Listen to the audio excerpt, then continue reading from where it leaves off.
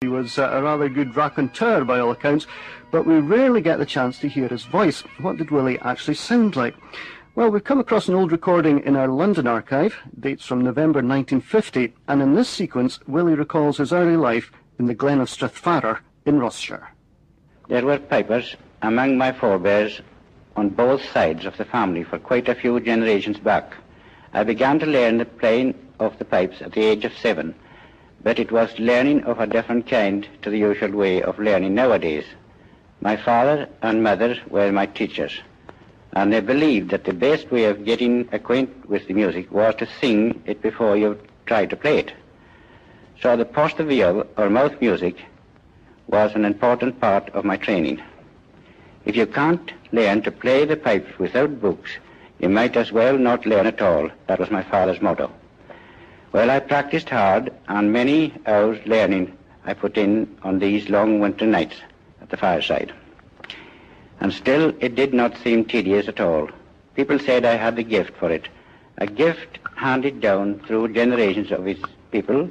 As Neil Munro says, to the making of a piper goes seven years of his own learning and seven generations before. In 1896, at the age of 17, I took to soldiering and joined the Scots Guards as a piper. I was sent to London, which was a great change for a lad like me, because I'd never been further south than Inverness before, but for once, and that was only as far as Blair Castle. But I didn't see very much of London for a while. Soldiering was a harder life then than it is now. We didn't have very much free time, and our pay of a shilling a week didn't take us very far.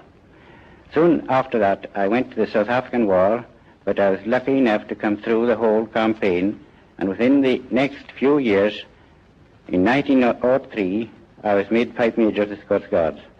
In the Great War, I was abroad again in France, but from then till now, most of my time has been spent in helping to make pipers and training army pipe majors and others in Edinburgh Castle. Pipers are a great fraternity, and you'd never convince them that any other kind of music can compare with the grandeur of the pibroch. Uh, Willie Ross in 1950. Well, here's a track from his regimental pipe band, modern music in this case from an old established.